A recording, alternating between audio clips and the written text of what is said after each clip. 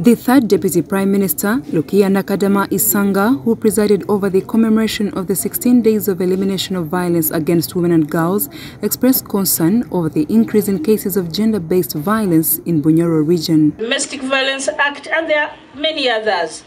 So, as evidenced from the trading testimonies, violence has a variety of negative consequences, including facilitating the spread of HIV AIDS. According to statistics, 10,000 cases of gender-based violence were reported in the region last year, with Kakumiro being on the lead, followed by Kagadi and Kikuube. 8% of these cases were inflicted on women and girls. Therefore, Minister Nakadama cautioned the perpetrators of such cases to stop. Violation of women's fundamental rights has devastating consequences for women, girls and their families, as well as men and the broader community. The Hoima Oil City Deputy Mayor Sylvia Nalmaga has explained that the situation in the city on gender-based violence cases is alarming. She has attributed the problem to the hassle people go through to earn a living as well as the ongoing oil and gas activities in the Albertine region. Violence is increasing in homes, the maids, we don't know what is happening at home, at workplace. No, everyone is looking for survival.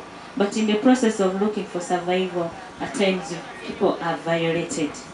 Even men are violated, but the number for women and girls is very, very, very high. The project manager, Baylor Uganda, Dr. Betty Sanji, says that some of the victims of gender-based violence fear reporting these cases to authorities. The numbers they are reporting are under They are lower than what actually is in the community.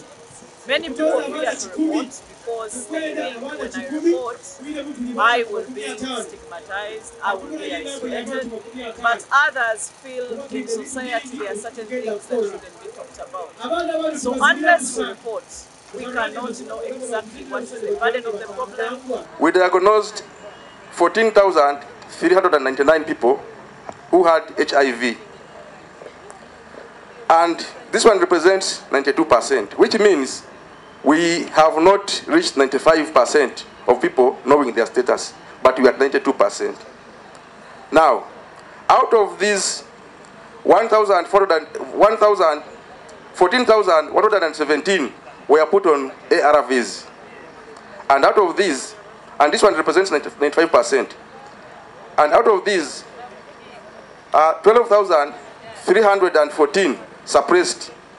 This one represents 87%, meaning that our detection rate is low and our suppression rate is low. The Hoima resident city commissioner, Badru Mugabi, reveals that his office has received many cases of gender-based violence and they have tried to handle some of them.